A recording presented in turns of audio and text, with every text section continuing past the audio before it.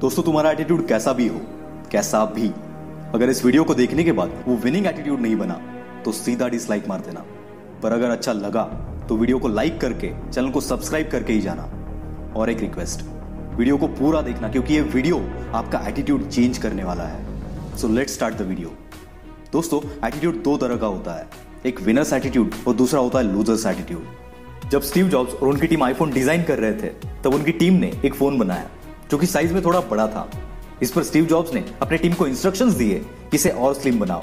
पर टीम का कहना था कि वो फ़ोन को इससे ज़्यादा स्लिम नहीं बना सकते।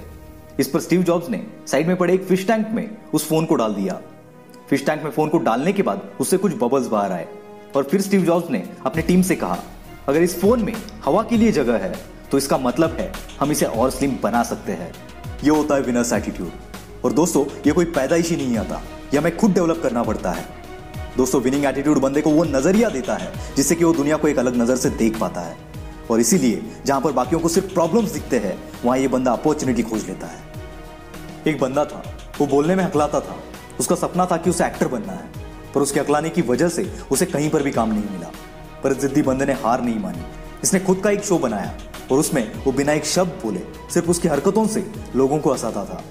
और ये शो सुपर डुपर हिट हुआ। लोगों ने इसे काफ़ी पसंद भी किया। अब तो शायद आप समझ ही गए होंगे, मैं बात कर रहा हूँ मिस्टर बीन की।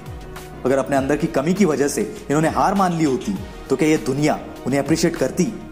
कभी नहीं। दोस्तों प्रॉब्लम सबके लाइफ में होती है। जब तक आप ज़िंदा हो, ये प्रॉब्लम्स रहेंगी।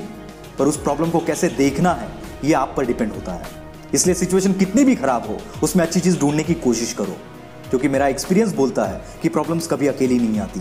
वो अपने साथ बहुत सारी अपॉर्चुनिटीज़ भी लेकर आती है। पर हमारा फोकस प्रॉब्लम्स पर इतना होता है कि हम उस अपॉर्चुनिटी को देख ही नहीं पाते। दोस्तों, याद रखना, ये दुनिया उन्हीं लोगों को याद रखती है जो अपने प्रॉब्लम्स से लड़कर कुछ हट कर कर जाते हैं। वरना बाकियों को तो प्रॉब्लम्स खुद दबा देता है। जहाँ हम एक बार फेल हो गए तो हार मान लेते हैं। वहाँ इस बंदे को तीस बार जॉब से रिजेक्ट कर दिया गया था और ये कोई हाई प्रोफ़ाइल जॉब के लिए अप्लाई नहीं कर रहा था, एक वेटर के जॉब के लिए अप्लाई कर रहा था। फिर भी इसे रिजेक्ट कर दिया गया। पर इसके एटीट्यूड ने इसे हार नहीं मानने दी।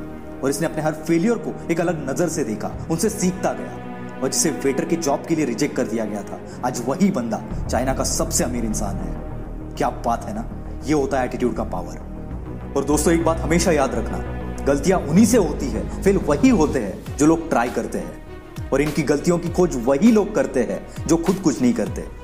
इसलिए अपनी सोच, अपना नज़रिया, अपना एटीट्यूड इतना पॉजिटिव रखो कि लाइफ में कितनी भी बड़ी प्रॉब्लम आने दो, आप उससे भी भिड़ जाओगे। अपने एटीट्यूड को पहाड़ जैसा बनाओ जिसे कि कोई बवंडर भी हिला ना सके। और फेलियर को एक्सेप्ट करना सीखो। फेल सब होते हैं।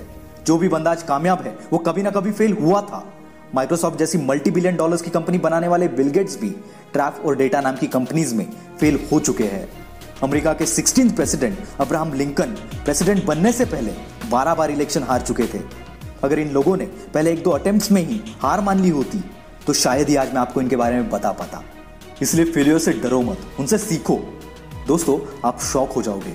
90 परसेंट लोग फेल होने के डर से कुछ नया ट्राई तक नहीं करते। इसलिए फेलियर को देखने का अपना नज़रिया बदलो। फेल होना कोई बुरी बात नहीं है। हमेशा याद रखना, आप अपने सक्सेस से ज़्यादा फेलियर से सीखते हो। और ये 90 परसेंट लोग वही घिसी पिटी लाइफ जीते हैं।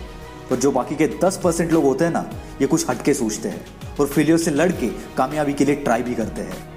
और ये वही लोग हैं जो हमेशा भीड़ की वजह बनते हैं। भीड़ का हिस्सा नहीं।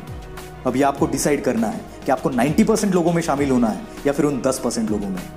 दोस्तों, इस वीडियो का एंड हम एक बहुत ही अच्छी स्टोरी से करेंगे। एक गाँव में एक बंदा रहता था, जो कि बहुत शराब पीता था। उसके दो बेटे थे, जो रोज उसे इस हालत में देखते थे। दस साल बाद पहला बेटा अपने पिता की तरह ही शराबी बन गया और दूसरा बेटा आईएएस ऑफिसर बन गया। जब दोनों से भी उनकी सिचुएशन का कारण पूछा गया तब दोनों का भी जवाब सेम ही था। दोनों ने कहा, आज मैं जो भी हूँ, अपने पिता की वजह से हूँ। दोस्तों, यहाँ प्रॉब्लम तो दोनों का भी सेम ही था, पर उनके एटीट्यूड ने दोनों को अलग बना दिया। Problems are common but attitude makes the difference think on it this is will power star signing off for the day